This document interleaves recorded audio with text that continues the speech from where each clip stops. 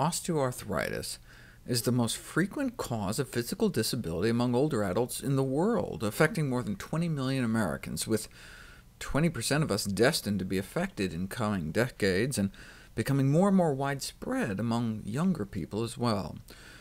Osteoarthritis is characterized by loss of cartilage in the joint. We used to think it was just mechanical wear and tear, but is now generally accepted as an active joint disease with a prominent inflammatory component, as evidenced by, for example, significantly higher production of inflammatory prostaglandins from tissue samples obtained from the knees of people suffering from the disease. If the loss of cartilage is caused in part by inflammation, might an anti-inflammatory diet help, like it does with rheumatoid arthritis? Using optimal nutrition and exercise as the first-line intervention in the management of chronic osteoarthritis could well constitute the best medical practice. Where's the best science on what optimal nutrition might look like? The China study is a prime example showing the serious health consequences of high consumption of pro-inflammatory foods, meat, dairy, fat, and junk, and low consumption of anti-inflammatory plant foods, whole grains, vegetables, and fruits, and beans, uh, split peas, chickpeas, and lentils.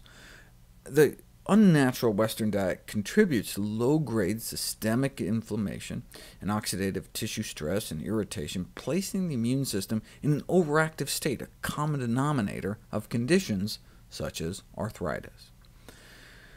There are phytonutrients in plants that appear to help decrease the degradation of the joint cartilage, the inflammatory activity, the cell death, and oxidative damage. This is based largely on in vitro studies, suggesting protective benefits of soy, and pomegranates, and citrus, and grapes, and green tea, and the curry powder spice turmeric. But my patients are people, not petri dishes. What role might the yellow pigment curcumin in turmeric play in the treatment of osteoarthritis? Well, you know, obesity doesn't just put stress on our joints. Fatty tissue inside our joints, like in the kneecap itself, is a source of pro-inflammatory chemicals that have been shown to increase cartilage degradation. Curcumin may not only help prevent the release of inflammatory chemicals, but slow the formation of the fat pad in the first place. But enough with test tubes. There have been two clinical studies published to date. The latest took 50 patients suffering from moderate to mild knee osteoarthritis, and gave them either the best available medical treatment, which included control with anti-inflammatory drugs and painkillers, or the best available treatment along with some proprietary curcumin supplement. They looked at a number of different outcome measures, including the Karnofsky scale, which goes up to 100, which is normal, no complaints, no evidence of disease, down to zero, at which you're dead. The group with the added curcumin did significantly better, and were able to double their walking distance.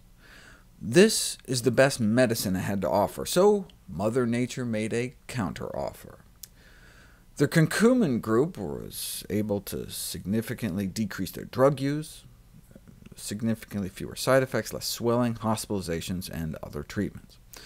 But it doesn't have to be some fancy proprietary formula. Here's the other study, the efficacy of turmeric extracts in patients with knee osteoarthritis. About 100 sufferers were randomized to ibuprofen or concentrated turmeric extracts for six weeks, and the curcumin group did as good or better than the ibuprofen. Even though ibuprofen is over-the-counter, it can cause ulceration, bleeding, and perforation of the stomach and intestines, can eat right through our stomach wall, and in fact that happened to someone in the study.